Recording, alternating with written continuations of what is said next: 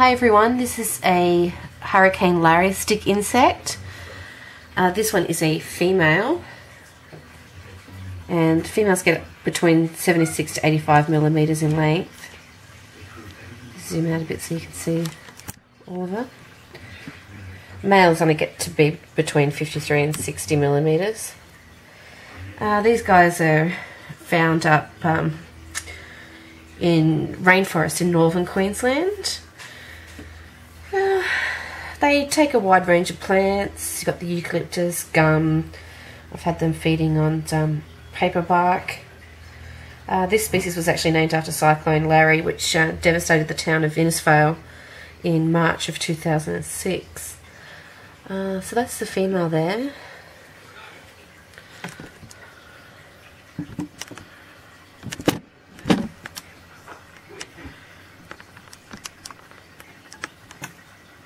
I'll just get a male out for you so you can see the size difference. They do have wings and they can and do fly.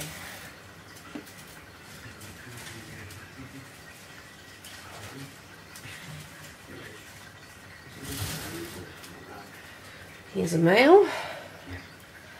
So you can see the size difference there.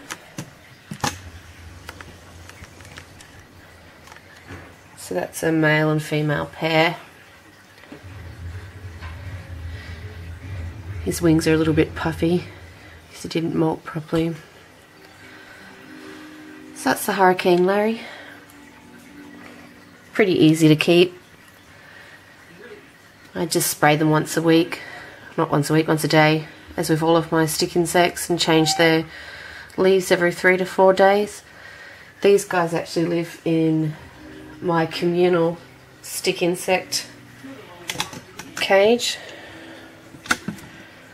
Nail buddy.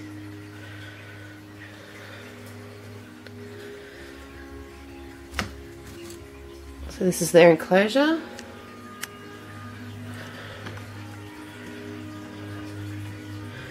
The female.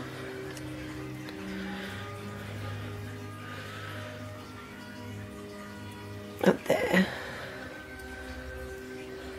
So they're just in a mesh enclosure. They need lots of ventilation. So that's the Hurricane Larry stick insects.